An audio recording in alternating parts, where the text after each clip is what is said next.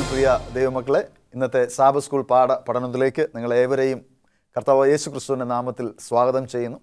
നാം ഈ ക്വാർട്ടറിൽ പഠിക്കുന്നത് സങ്കീർത്തനങ്ങൾ എന്ന സമാഹാരത്തെ ആസ്പദമാക്കിയാണ്. ഇന്ന് നമുക്ക് പഠിക്കുവാനുള്ളത് രണ്ടാമത്തെ പാഠമാണ്. ഞങ്ങളെ പ്രാർത്ഥിപ്പാൻ പഠിപ്പിക്കണമേ എന്നുള്ളതായ പാഠം. ഈ പാഠം ചർച്ച ചെയ്യുന്നതിന് രണ്ട് വേദ വിദ്യാർത്ഥികൾ നമ്മോടൊപ്പമുണ്ട്. നമുക്ക് അവരെ പരിചയപ്പെടാം. ഒപ്പം നിങ്ങളെ ഏവരെയും ഇന്നത്തെ പാഠപഠനത്തിലേക്ക് സ്വാഗതം ചെയ്യുകയും ചെയ്യുകയാണ്. ജോയ് സാറ് ഇന്ന് ഞങ്ങളോടൊപ്പം ഉള്ളതിൽ അതിയായ സന്തോഷമുണ്ട്. ജോയ് സാറിന് സാബ് സ്കൂൾ പാഠം പഠിപ്പിച്ച് വളരെ അനുഭവ സമ്പത്തുള്ളതായ ഒരു അധ്യാപകൻ കൂടെയാണ്. സാബ് സ്കൂൾ പാഠപഠനത്തിൽ മാത്രമല്ല സ്കൂളിലെ അധ്യാപകനായിട്ടും കൂടെ വേല ചെയ്യുന്നു. അതിന്റെ അനുഭവ സമ്പത്ത് ഈ പാഠപഠനത്തിൽ പ്രതിഫലിക്കും എന്ന് പ്രത്യേകാൽ ഞങ്ങൾ വിശ്വസിക്കുന്നു. അതുപോലെ തന്നെ ഈഡൻ ടി വിയുടെ സ്ഥിരമായ സാബ് സ്കൂൾ അധ്യാപകനും കൂടെയാണ് സാറ്. സാറിനെ ഇന്നത്തെ ഈ പാഠപഠനത്തിലേക്ക് സ്വാഗതം ചെയ്തു pastor Binoy Jacob Das media മിനിസ്ട്രിയിൽ ധാരാളം വർഷങ്ങൾ വേല ചെയ്ത് ഇങ്ങനെ മീഡിയയിലൂടെ മറ്റുള്ളവരെ വേദപുസ്തകം പഠിപ്പിക്കുന്നതിൽ അഗ്രഗണ്യനാണ് സാറെന്ന് ഈ നമ്മുടെ പ്രേക്ഷകർക്ക് എല്ലാവർക്കും അറിയാം. ഇന്നത്തെ ഈ പാഠപഠനം പ്രേക്ഷകർക്കും നമുക്ക് വ്യക്തിപരമായും ദൈവാനുഗ്രഹം ഉണ്ടാകുവാൻ സഹായിക്കട്ടെ എന്ന് പ്രാർത്ഥിക്കുന്നു. ഒപ്പം സാറിനെ ഇന്നത്തെ ചർച്ചയിലേക്ക് സ്വാഗതം ചെയ്യും നന്ദി. ഇന്ന് നാം പഠിക്കുന്നത് ശിഷ്യന്മാർ കർത്താവ് യേശു ക്രിസ്തുവിനോട് പ്രാർത്ഥിക്കാൻ പഠിപ്പിക്കണമേ എന്നുള്ളതായ ഒരു പാഠത്തെ ആസ്പദമാക്കിയാണ്. പ്രാചീന കാലങ്ങളിൽ പ്രാർത്ഥന എന്ന് പറയുന്നത് ഒരു വ്യക്തിപരമായ ഒരു അവകാശമായി കരുതിയിരുന്നതായ ഒരു കാര്യമാണ്. അവരുടെ പ്രാർത്ഥിക്കുന്നവരുടെ പ്രശ്നങ്ങളെ ദൈവസന്നിധിയിൽ മറ്റൊരു ജീവിക്കുന്നതായ ഒരു വ്യക്തിയോട് പറയുന്നത് പോലെ അവരെ സഹായിക്കുവാൻ കഴിയുന്നതായ ഒരു വ്യക്തിയോട് ഉറപ്പായിട്ടും പറയുന്നത് പോലെ ആ ഉറപ്പായി പറയുന്നത് അവർക്ക് അനുഭവിക്കുവാൻ കഴിയും എന്ന വിശ്വാസത്തോടു കൂടെ ചെയ്യുന്നതായ ഒരു പ്രവൃത്തിയായിട്ടാണ് പ്രാർത്ഥനയെ കണ്ടുവരുന്നത്. നമുക്കിന്ന് മനപ്പാഠവാക്യമായി നൽകിയിരിക്കുന്നത് ലൂക്കോസിന്റെ സുവിശേഷം പതിനൊന്നാം അധ്യായം അതിന്റെ ഒന്നാമത്തെ വാക്യമാണ്. അത് ഇങ്ങനെ പറയുന്നു. അവൻ ഒരു സ്ഥലത്ത് പ്രാർത്ഥിച്ചു കൊണ്ടിരുന്നു. തീർന്ന ശേഷം ശിഷ്യന്മാരിൽ ഒരുത്തൻ അവനോട് കർത്താവെ യോഹന്നാൻ തന്റെ ശിഷ്യന്മാരെ പഠിപ്പിച്ചതുപോലെ ഞങ്ങളെയും പ്രാർത്ഥിപ്പാൻ പഠിപ്പിക്കണമേ എന്ന് പറഞ്ഞു. പാസ്റ്റർ ബിനോയ് പ്രാർത്ഥനയെക്കുറിച്ചാണ് ഇന്നത്തെ പാഠം നാം ചർച്ച ചെയ്യുന്നത്. വിശ്വാസ ജീവിതത്തിൽ പ്രാർത്ഥന എത്രമാത്രം വലുതാണ്?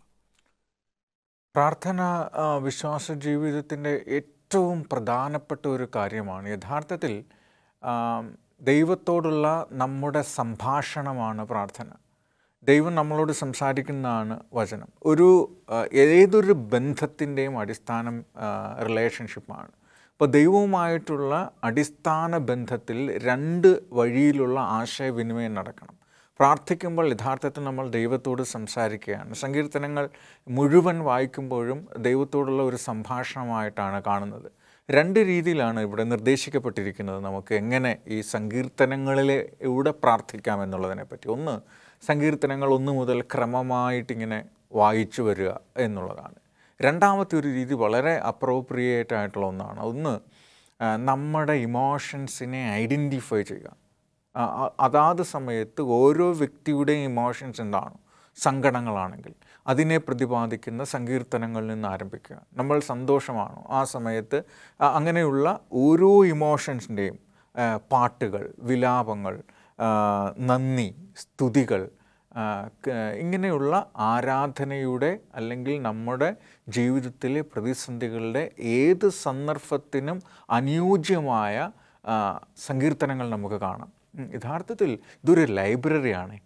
ഇമോഷൻസിന്റെ ലൈബ്രറി. അതിങ്ങനെ അടുക്കി അടുക്കി വെച്ചിരിക്കുകയാണ്. ഏത് സന്ദർഭത്തിലും നമുക്ക് ഒരു പക്ഷേ എനിക്ക് തോന്നുന്നു ഒരു ഡോക്ടർ പറയുന്നു ഇന്ന അസുഖത്തിന് ഇന്ന മരുന്ന് കഴിക്കൂ എന്ന് പറയുന്നത് പോലെ നമ്മൾ എടുത്ത് അതിനെ ഉപയോഗിച്ച് ധ്യാനിക്കുവാണെങ്കിൽ പരിപൂർണമായ സൗഖ്യം ദൈവത്തിന്റെ ഇടപഴലുകൾ നമുക്ക് കാണാൻ പറ്റും. പലപ്പോഴും നമ്മുടെ എന്താണ് മനസ്സ് മടിച്ചിരിക്കുമ്പോഴും നാം ഭാരപ്പെട്ടിരിക്കുമ്പോഴും പ്രയാസത്തിലിരിക്കുമ്പോഴും ഒക്കെ നമ്മളെല്ലാവരും വായിക്കുന്നതായ ഒരു ഭാഗമാണ് സങ്കീർത്തനങ്ങൾ. നമ്മൾ വേദപുസ്തകം തുറന്ന് നമുക്ക് ഒരുപക്ഷെ ചില ചിലർ ഇഷ്ടപ്പെട്ട സങ്കീർത്തനങ്ങൾ വായിക്കും. ചിലപ്പോൾ വേദപുസ്തകം ഇങ്ങനെ രണ്ടായിട്ട് തുറക്കുമ്പോൾ കാണുന്ന സങ്കീർത്തനം വായിക്കും. ജോയ് സാറേ സങ്കീർത്തനങ്ങൾ വായിക്കേണ്ടത് എങ്ങനെയാണ്? എല്ലാ സങ്കീർത്തനങ്ങളും ദൈവത്തെയാണ് അഭിസംബോധന ചെയ്യുന്നത്. നാം ഒരു സങ്കീർത്തനങ്ങൾ വായിക്കുമ്പോൾ എന്തുകൊണ്ട് ആ സങ്കീർത്തനക്കാരൻ അപ്രകാരം പ്രാർത്ഥിച്ചു എന്ന കാരണം നാം ആദ്യമേ മനസ്സിലാക്കണം. ആ കാരണം എന്റെ ജീവിതവുമായി എന്തെങ്കിലും ബന്ധമുണ്ടോ എന്ന് നാം തിരിച്ചറിയണം. ഇനി ആ സങ്കീർത്തനക്കാരന്റെ ജീവിതത്തിൽ വന്ന തെറ്റും ശരിയും നാം മനസ്സിലാക്കണം. ആ തെറ്റും ശരിയും മനസ്സിലാക്കുമ്പോൾ എന്റെ ജീവിതം ആ ആ വഴിയാണോ സഞ്ചരിക്കുന്നതെന്ന് നാം സ്വയം മനസ്സിലാക്കുകയാണെങ്കിൽ ആ തെറ്റിൽ നിന്ന് നമുക്ക് ശരിയിലേക്ക് മാറുവാൻ കഴിയും. എല്ലാ സങ്കീർത്തനങ്ങളും അതിന്റെ ലക്ഷ്യമെന്ന് പറയുന്നത് അത് സഭയെയും സമൂഹത്തെയും നമ്മെ വ്യക്തിപരമായി തന്നെ ക്രിസ്തുവിനോട് അടുപ്പിക്കുകയാണ് ഓരോ സങ്കീർത്തനത്തിന്റെ ലക്ഷ്യം. അപ്പോൾ സങ്കീർത്തനങ്ങൾ പ്രധാനമായും യേശുവിനെയും ക്രൂശിനെയുമാണ് അത് പ്രതിപാദിക്കുന്നത്. അപ്പോൾ ആ തരത്തിൽ എന്നെയാണ് അത് മനസ്സിലാക്കുന്നത് എന്നെക്കുറിച്ചാണ് എന്റെ ജീവിതമാണ് ആ സങ്കീർത്തനക്കാരൻ രചിച്ചിരിക്കുന്നതെന്ന അർത്ഥത്തിൽ നാം മനസ്സിലാക്കുമ്പോൾ അത് വളരെയധികം നമ്മുടെ ജീവിതത്തെ ആത്മീയമായി മാറ്റും. തീർച്ചയായിട്ടും. പാസ് ബിനോയ് സങ്കീർത്തന വായനകൾ മാത്രമല്ല മറിച്ച് വേദപുസ്തകം മുഴുവനായും വായിക്കുന്നത് ഒരു ക്രിസ്തീയ വിശ്വാസിക്ക് അഥവാ ക്രിസ്തീയ ജീവിതത്തിന് അനിവാര്യമാണ്. എങ്ങനെയാണ് അത് വേദപുസ്തക വായന ഒരു ക്രിസ്തീയ ജീവിതത്തിന് മുതൽക്കൂട്ടായിത്തീരുന്നത് ആ, പ്രത്യേകിച്ച് നമ്മൾ നോക്കുകയാണെങ്കിൽ സങ്കീർത്തനങ്ങൾ സ്തുതികളുണ്ട് ഗാനങ്ങളുണ്ട് ആലാപനങ്ങളുണ്ട്. ഇതിനെ പഠിച്ച് തമ്മിൽ തമ്മിൽ ബുദ്ധി ഉപദേശിപ്പിൻ തെറ്റും ശരിയും തിരിച്ചറിയാൻ. പാപം എന്താണ് നന്മ എന്താണെന്ന് തിരിച്ചറിയാൻ. വേണ്ടുന്നത് എന്താണ് വേണ്ടാത്തത് എന്താണെന്ന് തിരിച്ചറിയാനുള്ള ജ്ഞാനം വിവേകം ലഭിക്കുന്നത് വചന പഠനത്തിൽ നിന്നാണ്. അപ്പോൾ ഇത് തമ്മിൽ തമ്മിൽ പഠിച്ച് ബുദ്ധി ഉപദേശിപ്പിക്കുക. നിങ്ങൾ സങ്കീർത്തനങ്ങളാലും സ്തുതികളാലും ഈ വചനങ്ങളാൽ തമ്മിൽ തമ്മിൽ ആശ്വസിപ്പിച്ചു കൊള്ളട്ടെ. അപ്പോൾ നമ്മുടെ ഈ തീർത്ഥയാത്രയിൽ ദാവീദ് പറയുന്ന പോലെ തീർത്ഥയാത്ര വളരെ പ്രയാസങ്ങൾ നിറഞ്ഞതാണ്. അപ്പോൾ മനുഷ്യൻ ഒറ്റയ്ക്ക് അതിനെ അതിജീവിക്കാൻ കഴിയില്ല. അപ്പോൾ ഈ സങ്കീർത്തനങ്ങൾ വേദപുസ്തക വചനം അതാണ് നമ്മളെ ആശ്വസിപ്പിക്കുന്ന പ്രധാനപ്പെട്ട ഘടനം. ബൈബിൾ പറയുന്നത് നിങ്ങളുടെ വചനം ഈ കർത്താവിന്റെ വചനം നിങ്ങളുടെ ഹൃദയത്തിൽ സർവ ഐശ്വര്യവുമായി എപ്പോഴും ഇരിക്കട്ടെ എന്നാണ് പറയുന്നത്. തീർച്ചയായിട്ടും അത് നല്ല ഒരു ആശയമാണ്. പ്രത്യേകിച്ച് ഞാൻ വേദപുസ്തകത്തെ നോക്കുമ്പോൾ ലോകത്തിലെ എല്ലാ നിയമസംഹിതങ്ങളും കാലഘട്ടത്തിനനുസരിച്ച് മാറിക്കൊണ്ടിരിക്കുകയാണ്. അവരുടെ ജനങ്ങളുടെ ഇഷ്ടത്തിനനുസരിച്ച്. പക്ഷേ വേദപുസ്തകം അന്നും ഇന്നും ദൈവനിയമമായി ഒരു മാറ്റവുമില്ലാതെ നിലകൊള്ളുന്നു. അത് നമുക്ക് എടുത്തു പറയേണ്ടതും നമ്മുടെ ശരിയും തെറ്റുകളെ നിയന്ത്രിക്കുന്നതായ ഒരു പുസ്തകവുമായിട്ട് കൂടെ നമുക്കതിനെ കാണുവാൻ തക്കവണ്ണം സാധിക്കും. ഒരു ചെറിയ ഇടവേളയ്ക്ക് പോവുകയാണ്. പ്രിയ പ്രേക്ഷകരെ ഒരു ചെറിയ ഇടവേളയ്ക്ക് ശേഷം ഞങ്ങൾ മടങ്ങി വരും. ഞങ്ങളോടൊപ്പമായി പ്രിയ പ്രേക്ഷകരെ വീണ്ടും നിങ്ങളെ ഈ ചർച്ചയിലേക്ക് സ്വാഗതം ചെയ്യുകയാണ്. പാസ്റ്റർ ബിനോയ് വേദപുസ്തക വായനയുടെ പ്രാധാന്യത്തെക്കുറിച്ചാണ് പാസ്റ്റർ പറഞ്ഞുകൊണ്ടിരുന്നത്. നാൽപ്പത്തി നാലാം സങ്കീർത്തനത്തിന്റെ പ്രാധാന്യം വളരെ വലുതാണ്. അത് എല്ലാ പ്രായത്തിലുമുള്ളവർക്ക് അത് പ്രയോജനമുള്ളതാണ്. പ്രത്യേകിച്ച് യുവാക്കൾക്ക് അതിന്റെ പ്രത്യേകതകൾ എന്താണ്? പ്രാർത്ഥിക്കാൻ നമുക്ക് നൽകുന്ന സന്ദർഭം ഞാൻ നേരത്തെ പറഞ്ഞതുപോലെ സംസാരിക്കാനുള്ള സ്വാതന്ത്ര്യമാണ്. നാൽപ്പത്തിനാലാം സങ്കീർത്തനങ്ങൾ സങ്കീർത്തനക്കാരൻ ദൈവത്തോട് സംസാരിക്കുന്നതായിട്ട് നമുക്കവിടെ കാണാൻ പറ്റും. അത് നിങ്ങളുടെ ഹൃദയത്തിൽ ഇരിക്കുകയും നമ്മളുടെ ആന്തര യഥാർത്ഥത്തിൽ നമ്മുടെ ഇമോഷൻസിനെ നമ്മൾ തടഞ്ഞു വെക്കുവാണെങ്കിൽ പലപ്പോഴും ആളുകൾ പറയും ആരാധനയ്ക്ക് പോകുമ്പോൾ മിണ്ടരുത് തിരിയരുത് നോക്കരുത് അല്ലെങ്കിൽ അങ്ങനെയൊന്നും പറയരുതെന്നൊക്കെ പറയുകയാണ് യഥാർത്ഥത്തിൽ നമ്മുടെ ഇമോഷൻസിനെ നമ്മൾ ദൈവവുമായിട്ട് പങ്കുവെക്കുന്നില്ലെങ്കിൽ നമ്മുടെ ഇമോഷൻസിന്റെ തടവറയിലായിരിക്കും നമ്മൾ. നമുക്കൊരിക്കലും ശ്വാ ആശ്വാസം ഉണ്ടാവില്ല നമുക്കൊരിക്കലും സന്തോഷം ഉണ്ടാവില്ല നമുക്കൊരിക്കലും സമാധാനം ഉണ്ടാവില്ല. നമ്മുടെ ജീവിതം നമുക്ക് സന്തോഷമേ അല്ലാതായി തോന്നും. സത്യത്തിൽ ഈ പ്രാർത്ഥനകളിൽ നമ്മുടെ സങ്കടങ്ങളും ഇമോഷൻസും എന്താണോ അത് നമ്മൾ ദൈവവുമായിട്ട് സംസാരിക്കണം ആശയവിനിമയം നടത്തണം. എങ്കിൽ മാത്രമേ കർത്താവ് നൽകുന്ന പ്രത്യാശ അതായത് സൃഷ്ടിതാവും പരിപാലകനുമായ ദൈവം മനുഷ്യനെ എങ്ങനെയാണോ സംരക്ഷിക്കാനും നടത്താനും ആഗ്രഹിക്കുന്നത് അത് നമ്മുടെ ജീവിതത്തിലെ റിയാലിറ്റി ആയിട്ട് നമുക്ക് തോന്നുകയുള്ളൂ. ഇല്ലെങ്കിൽ നമ്മുടെ ആത്മീയ ജീവിതം നമുക്ക് ഭയങ്കര വിരസവും ഒറ്റപ്പെടലും ഏകാന്തതയും കൈവിട്ടതുപോലെയുള്ള അനുഭവങ്ങൾ നമുക്കുണ്ടാകും. അതുകൊണ്ട് തീർച്ചയായിട്ടും നാൽപ്പത്തിനാലാം സങ്കീർത്തനത്തിൽ സങ്കീർത്തനക്കാരൻ അദ്ദേഹത്തിന്റെ ഇമോഷൻസ് ദൈവത്തിന് മുന്നിൽ പകരുകയാണ് ചെയ്യുന്നത്. ഓരോ പ്രാർത്ഥനയും നമ്മുടെ വികാരങ്ങൾ ദൈവത്തോട് പങ്കുവയ്ക്കുക സകല ഭാരവും എന്റെ മേൽ ഇട്ടുകൊള്ളുക എന്ന് കർത്താവ് പറയുന്നതിന്റെ ഒരു നേർസാക്ഷ്യമാണത്. ജോയ് സാർ സാറ് ഒരു ലേ മെമ്പറാണ് ഞങ്ങളൊക്കെ വിശ്വാസികളാണ്. നമ്മളെല്ലാവരും വിശ്വാസികളാണ്. പക്ഷേ ഞങ്ങൾ സഭയുടെ പ്രവർത്തകരായിട്ട് ജോലി ചെയ്യുന്നു. സാർ ഒരു ലേ മെമ്പറായിട്ട് സഭയുടെ എല്ലാ പ്രവർത്തനങ്ങളിലും കൂട്ടാളിയാകുന്നതായ ഒരു വ്യക്തിയാണ്. പ്രാർത്ഥന ഒരു വിശ്വാസിയെ സംബന്ധിച്ചിടത്തോളം അത് എത്രമാത്രം പ്രസക്തമായൊരു കാര്യമാണ്. കോരഹപുത്രന്മാരുടെ പ്രാർത്ഥന വിഷയമാണ് നാൽപ്പത്തിനാലാം സങ്കീർത്തനത്തിൽ പൊതുവെ പ്രതിപാദിക്കുന്നത്.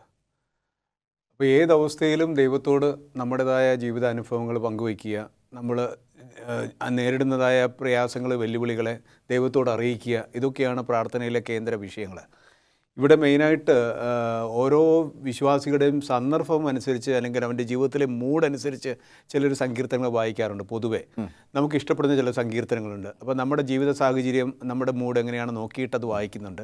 ചിലരാണെങ്കിൽ അത് വായിച്ചാൽ അയ്യോ എന്റെ ജീവിതത്തിന്റെ പാപത്തെയാണല്ലോ അത് ചൂണ്ടിക്കാണിക്കുന്നതെന്ന് മനസ്സിലാക്കിക്കൊണ്ട് അത് വായിക്കാൻ മടിക്കുന്നവരുമുണ്ട്. പക്ഷേ ഈ കോരവപുത്രന്മാരുടെ ഈ സങ്കീർത്തനം പ്രധാനമായും അവർക്ക് പാപമില്ല എന്ന് കാണിച്ചുകൊണ്ട് ഞങ്ങൾ പാപിയാണ് പക്ഷേ ഞങ്ങളുടെ പാപത്തേക്കാൾ ഉപരി ഞങ്ങളോട് അങ്ങ് ക്ഷമിക്കണമേ എന്നുള്ള ഒരു നിലവിളിയാണ് ഈ കോരകപുത്രന്മാർ സംസാരിക്കുന്നത്. ഞങ്ങൾക്ക് അങ്ങേയുള്ള ആശ്രയം ഞങ്ങൾക്ക് വേറെ ആശ്രയമില്ല എന്നാണ് ഈ പ്രാർത്ഥനയിൽ മെയിനായിട്ട് ബുദ്ധിപൂർവം അവർ ദൈവത്തോട് നിലവിളിക്കുന്നത്. അതുപോലെ തന്നെ ഇരുപത്തിരണ്ടാം സങ്കീർത്തനം നാൽപ്പത്തി നാലിന്റെ നേർപകുതിയാണ് ഇരുപത്തിരണ്ടാം സങ്കീർത്തനം. ഈ ഇരുപത്തിരണ്ടാം സങ്കീർത്തനത്തിന്റെ പ്രധാന പ്രമേയം എന്താണ്? അത് നമുക്ക് ഈ കാലഘട്ടത്തിൽ എത്രമാത്രം പ്രസക്തമാണ്?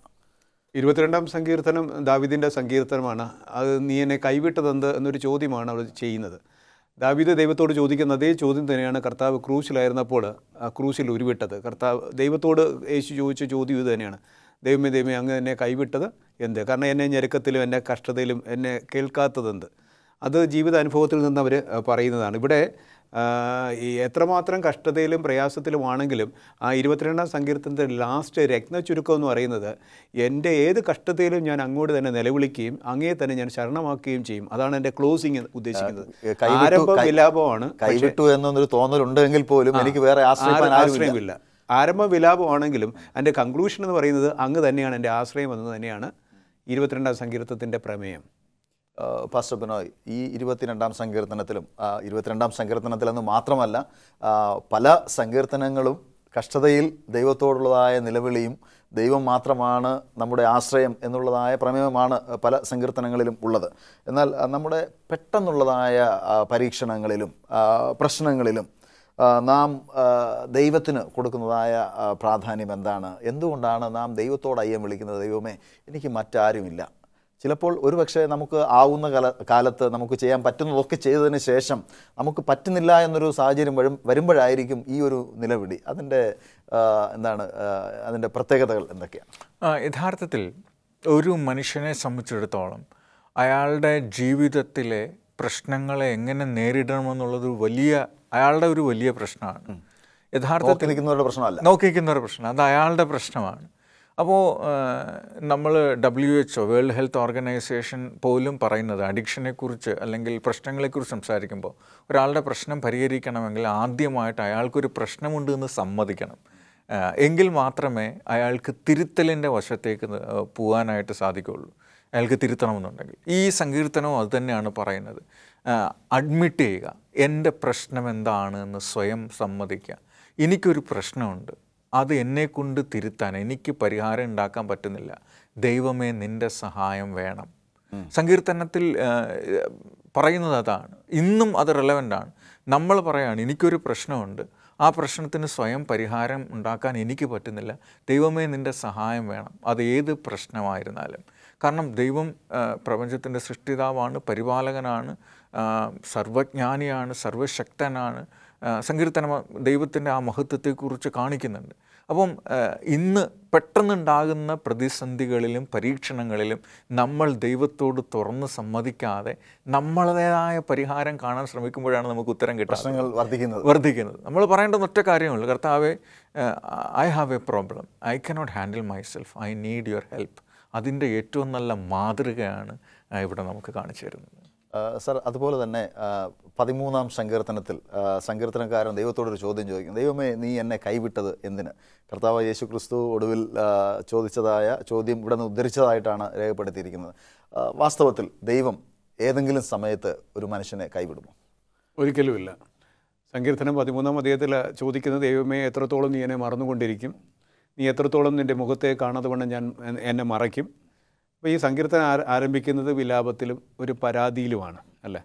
അപ്പോൾ സാറ് ചോദിച്ചതുപോലെ ഒരിക്കലും ദൈവം നമ്മെ ഒരു കാലത്തും കൈവിടുകയില്ല. ഇവിടെ പക്ഷേ സങ്കീർത്തനക്കാരൻ ലാസ്റ്റ് പൂർണമായും ദൈവത്തിൽ ആശ്രയിക്കുന്നതായിട്ട് പറയുന്നു. അങ്ങ് തന്നെയാണ് എന്റെ ശക്തി അങ്ങ് തന്നെയാണ് എന്റെ ബലം അങ്ങ് തന്നെയാണ് എന്റെ രാജാവ് എന്റെ മൊത്തത്തിൽ ദൈവത്തിൽ പൂർണമായി ആശ്രയിച്ചുകൊണ്ട് എന്റെ ഏത് കഷ്ടതയിലും ഞാൻ അങ്ങേ നിലവിളിക്കുന്നു എന്ന് വ്യക്തമായി അദ്ദേഹം അവിടെ പ്രതിപാദിക്കുന്നു.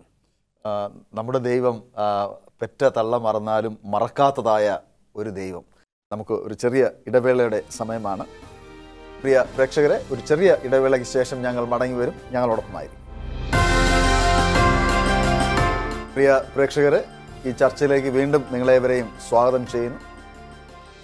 ഫസ്റ്റ് ബിനോയ് സങ്കീർത്തനങ്ങളുടെ വിവിധ ഭാവങ്ങളെക്കുറിച്ചും അതിന്റെ ഉപയോഗത്തെക്കുറിച്ചും വ്യക്തിപരമായ ഒരു വിശ്വാസി ദൈവവുമായുള്ളതായ ബന്ധത്തെക്കുറിച്ചും ഒക്കെയാണ് നമ്മൾ ചർച്ച ചെയ്തുകൊണ്ടിരുന്നത്.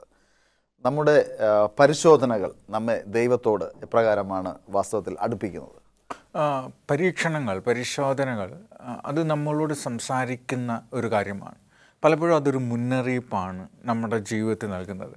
സങ്കീർത്തനക്കാരൻ പറയുന്നത് ഈ പുസ്തകങ്ങൾ വായിക്കുന്നത് മാത്രമല്ല അതിനെ മനസ്സിലാക്കുന്നത് മാത്രമല്ല ഇത്തരം അനുഭവങ്ങളിൽ ഈ സങ്കീർത്തനങ്ങൾ എന്റെ ജീവിതത്തുമായിട്ട് എത്രമാത്രം റിയലാണ് എന്ന് പരിശോധിക്കുമ്പോൾ നമ്മൾ സങ്കീർത്തനക്കാരന്റെ അവസ്ഥയിൽ നിന്നുകൊണ്ട് നമ്മുടെ അവസ്ഥകളെ ചിന്തിക്കുന്നു. അന്നേരം ദൈവം അവർക്ക് കൊടുത്ത പരിഹാരം നമ്മുടെ പരിഹാരങ്ങളായി വരുന്നത് നമുക്കറിയാൻ പറ്റും. അപ്പോൾ ദൈവം അവർക്ക് കൊടുത്ത വാഗ്ദത്തങ്ങൾ സുരക്ഷിതത്വങ്ങൾ സംരക്ഷണം ദൈവം അവർക്ക് നൽകിക്കൊടുത്ത കാര്യങ്ങൾ നമ്മുടെ ജീവിതത്തിലെയും യാഥാർത്ഥ്യമാകും. എന്ന് വെച്ചാൽ ദൈവം നൽകിയിട്ടുള്ള ഓരോ വാഗ്ദത്തങ്ങളും നമ്മുടെ ജീവിതത്തിൽ നിറവേറ്റപ്പെടുന്നത് കാണാൻ പറ്റും. ഈ ലോകത്ത് നമുക്ക് കഷ്ടങ്ങളുണ്ട്. ഇതൊക്കെ ഒരു നമ്മുടെ ഈ ലോകമെന്ന് പറയുന്ന ഒരു ലാസർ വീടാണ്. ഇവിടെ രോഗവും മരണവും ദുരിതവും എല്ലാമുണ്ട് കർത്താവ് പറഞ്ഞു ഈ ലോകത്തിൽ നിങ്ങൾക്ക് കഷ്ടമുണ്ടെന്നാണ്. ഈ കഷ്ടങ്ങളൊക്കെ ദൈവം നമ്മളോട് എത്രമാത്രം അടുത്തിരിക്കുന്നു എന്ന് കാണിക്കും. നമ്മുടെ ജീവിതത്തിലെ കഷ്ടങ്ങൾ ചെറുതാണെങ്കിൽ ദൈവത്തിന് നമ്മുടെ ജീവിതത്തിൽ പ്രവർത്തിക്കാൻ ചെറിയ സാഹചര്യം മാത്രമേ ഉള്ളൂ. വലിയ പ്രശ്നങ്ങൾ നമ്മൾ നേരിടുമ്പോൾ ദൈവത്തിന് വലിയ ഓപ്പർച്യൂണിറ്റിയാണ് ഒരു അത്ഭുതം പ്രവർത്തിക്കാൻ. സങ്കീർത്തനത്തിലെ അനുഭവങ്ങൾ നോക്കുകയാണെങ്കിൽ ദൈവത്തിന്റെ വിടുതൽ പ്രത്യേകിച്ച് യുദ്ധങ്ങളുടെ സമയത്ത് ശത്രുക്കൾ ആക്രമിക്കാൻ വരുമ്പോൾ അത്ഭുതകരമായ വിടുതലാണ്.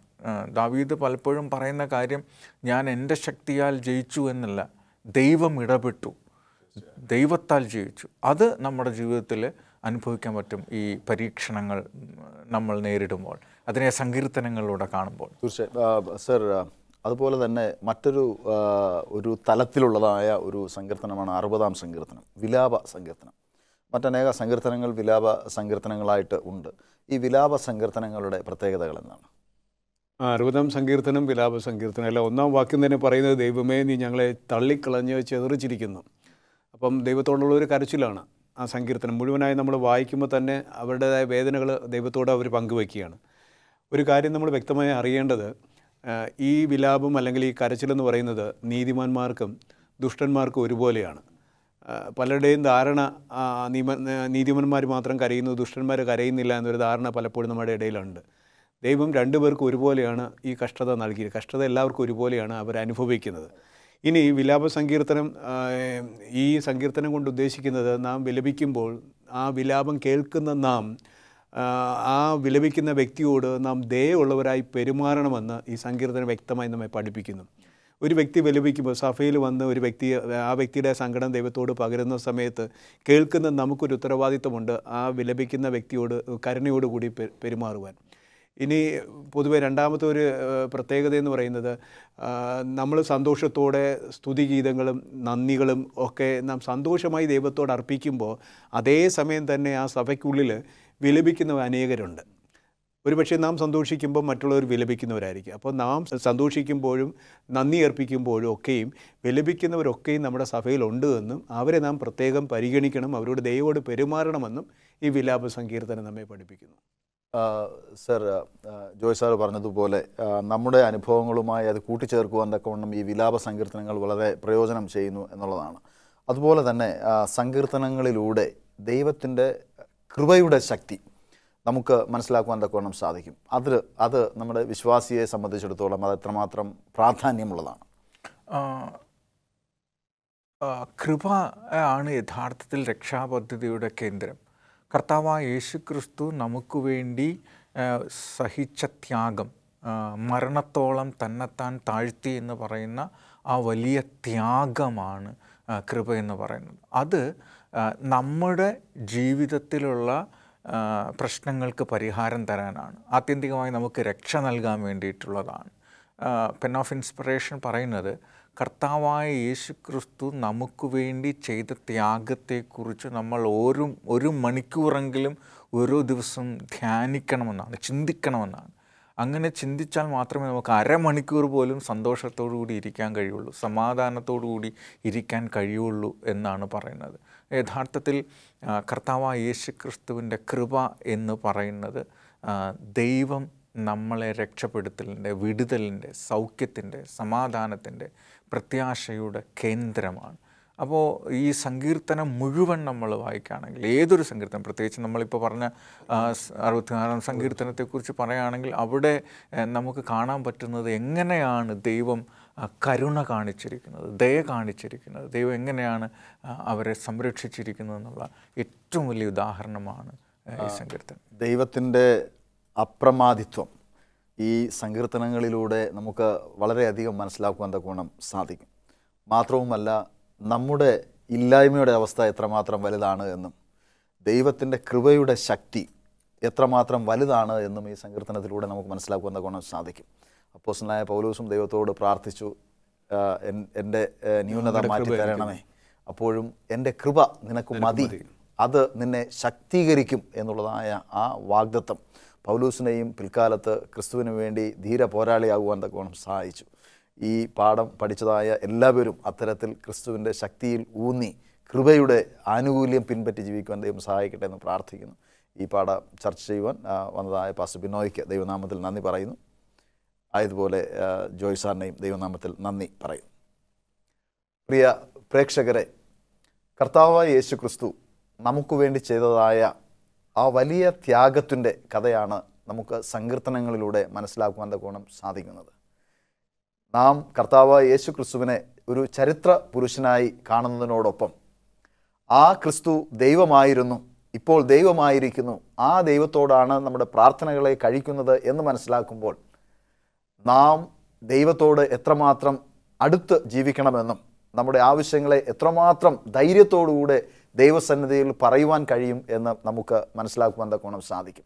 അങ്ങനെ ഒരു വിശ്വാസി എന്ന നിലയ്ക്ക് ഞാനും നിങ്ങളും നമ്മുടെ പ്രാർത്ഥനകൾ ശിഷ്യന്മാർ ദൈവത്തോടു കൂടെ നടന്ന് പ്രാർത്ഥിക്കുവാൻ പഠിപ്പിക്കണമേ എന്ന് ക്രിസ്തുവിനോട് ചോദിച്ച് പഠിച്ചതുപോലെ ഒരുപക്ഷെ നമ്മുടെ ജൽപ്പനങ്ങൾക്ക് സ്വർഗത്തെ എത്തിക്കുവാൻ കഴിഞ്ഞില്ല എങ്കിലും പരിശുദ്ധാത്മാവ് നമ്മുടെ പോരായ്മകളെ നികത്തി നമ്മുടെ ഹൃദയ വിചാരങ്ങളെ ദൈവസന്നിധിയിൽ എത്തിക്കുവാൻ അത് പര്യാപ്തമായി തീരും. അതിന് ദൈവം നമ്മെ എല്ലാവരെയും സഹായിക്കുമാറാകട്ടെ എന്ന് പ്രാർത്ഥിക്കുന്നു. God bless you